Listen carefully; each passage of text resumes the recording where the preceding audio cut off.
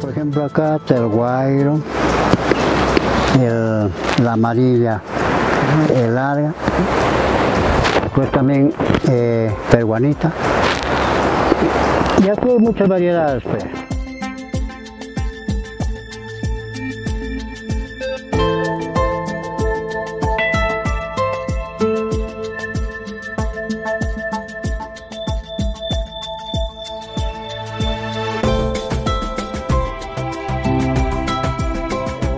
Acá es buena, rica.